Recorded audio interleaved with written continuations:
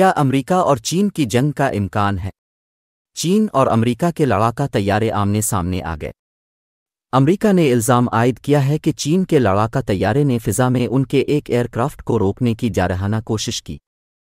आलमी खबर रसां इदारे के मुताबिक, सबक सदर डोनाल्ड ट्रंप के दौर से शुरू होने वाली अमेरिका और चीन के दरमियान कशीदगी में हुकूमत की तब्दीली के बावजूद कमी नहीं आई और इस जिम्न में होने वाली किसी कोशिश का खातिर खा नतीजा नहीं निकला। ताइवान के मसले में ये तलखी मजीद बढ़ गई और बहरुलकाहिल की फ़जाओं में चीन और अमरीका के फ़ौजी तैयारे आमने सामने आ गए, जिस पर दोनों ममालिक की अफवाज ने एक दूसरे पर फ़िज़ाई हदूद की खिलाफ वर्जी और जारहाना अजाइम का इल्ज़ाम आयद किया है।